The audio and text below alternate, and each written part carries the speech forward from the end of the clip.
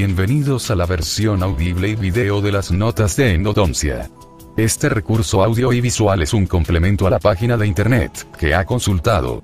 Fue elaborado por el Dr. Ricardo Rivas Muñoz, de la Facultad de Estudios Superiores Iztacala, de la Universidad Nacional Autónoma de México.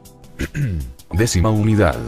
Preparativos para la terapia endodóntica. El tema que voy a leer es, dentro de la conductometría, la fundamentación teórica. Desde 1912, Fischer descalificó la creencia de que el conducto radicular terminaría en un solo foramen, y estimó que el 90% de los casos por él estudiados presentaban ramificaciones. La terminación apical del conducto, se localiza en la unión de la dentina interna, y el segmento externo, unión CDC.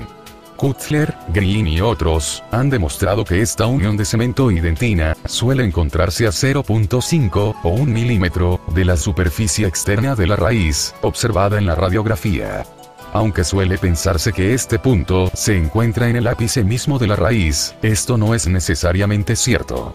En realidad la localización del agujero puede variar hasta 5 milímetros del ápice. En 1982, Wayne denominó desviación a este fenómeno.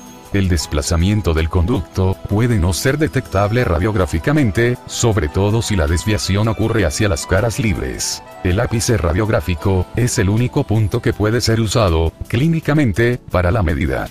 Por tanto, todos los métodos radiográficos son en cierta medida arbitrarios, puesto que la distancia entre el ápice y la constricción del foramen, CDC, no puede ser claramente determinada. De acuerdo con Ver, la longitud exacta con los métodos radiográficos solo puede ser conseguida en el 75% de los casos. En 1972, Burch y Ulen determinaron la dirección de la desviación en los diferentes grupos dentarios. Hacia vestibular, incisivos inferiores, 57%, caninos, 41%, hacia distal, molares inferiores, 45 a 63%. Esto es todo por ahora. Para ver las ilustraciones sobre el tema y la bibliografía, deberá consultar el sitio www.istacala.unam.mx, diagonal, R. Rivas. Pero si lo que desea es seguir adelante, pase a la siguiente página electrónica y seguirá escuchando y viendo esta versión audiovisual de las notas de endodoncia.